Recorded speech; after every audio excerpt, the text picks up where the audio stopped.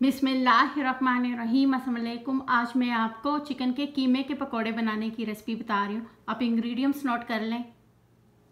बेसन half cup, red chilli powder one teaspoon, salt half tablespoon, turmeric powder half teaspoon cumin powder one teaspoon, सूखा धनिया powder one teaspoon ajwain half teaspoon coriander seed, one teaspoon, इनको हाथ में लेके ऐसे करें और डाल लें। बेकिंग सोडा टू पिंच, इनको मिक्स करें। Green chilli. किड्स के लिए बना रहे हैं तो ग्रीन चिली मत यूज़ करें। ऑनियन, हरा धनिया, चिकन का कीमा चिकन का कीमा हाफ़ के जी लहसुन अदरक की पेस्ट वन टीस्पून, सूखी मेथी। सूखी मेथी डालने से टेस्ट जो है बहुत ज़्यादा अच्छा हो जाता है। Yogurt one teaspoon. योगर्ट डालने से चिकन के पकोड़े बहुत ज़्यादा टेस्टी बनते हैं।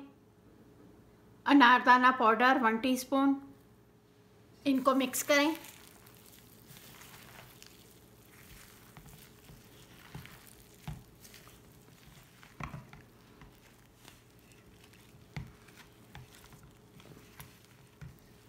अभी तक इसके बीच में वाटर नहीं डाला। वाटर डाले बगैर इसको मिक्स किया है। ज़रूरत के मुताबिक अभी बाद में वाटर डालेंगे। इनको मिक्स कर लिया। इसके बीच में बिल्कुल भी वाटर नहीं डालना। इनको ऐसा ही इनको रखना है। आपको लगे कि इसमें वाटर की ज़रूरत है तो वन टेबलस्पून वाटर डालें, ज़्यादा वाटर नहीं डालना। इनको मिक्स करके टेन मिनट्स रख लेते हैं।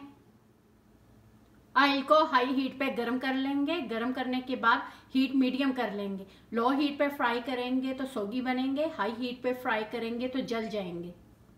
बहुत बड़े साइज़ का नहीं बनाना। डालने से पहले हाथ से ऐसे प्रेस करें।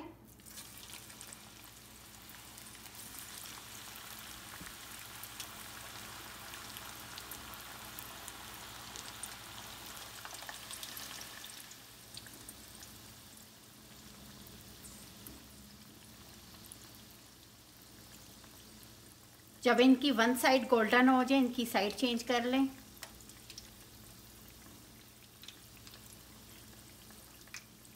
मीडियम हीट पे इनको थ्री मिनट फ्राई किया अब हीट हाई कर लेते हैं। हाई हीट पे इसको वन मिनट फ्राई करेंगे। हाई हीट पे वन मिनट इनको फ्राई कर लिया। इनमें से जो फ्राई हो गए उनको निकाल लेते हैं।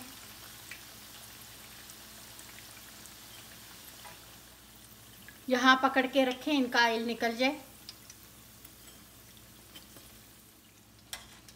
जो बाकी रह गए उनको भी फ्राई कर लेते हैं।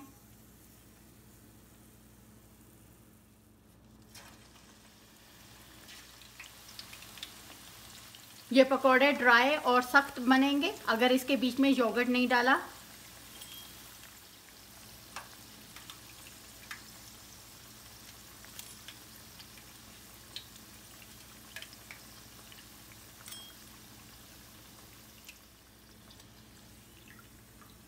सिक्स मिनट में ये फ्राई हो गए।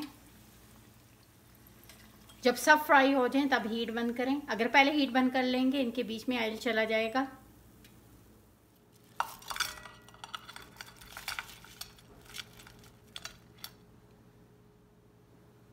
आप इसको रमज़ान में, अफ्तारी में बना लें एनी टाइम बना सकते हैं।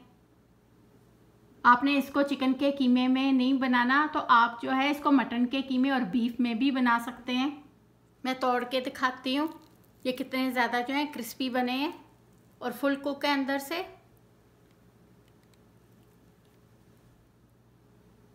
ये बन के रेडी हो गए। आप अपने स्पाइस और कीमा, अपनी मर्ज़ी से कम ज़्यादा कर लें। आपको मेरी रेसिपी पसंद है, मुझे लाइक करें सब्सक्राइब करें। थैंक यू खुदा हाफिज़।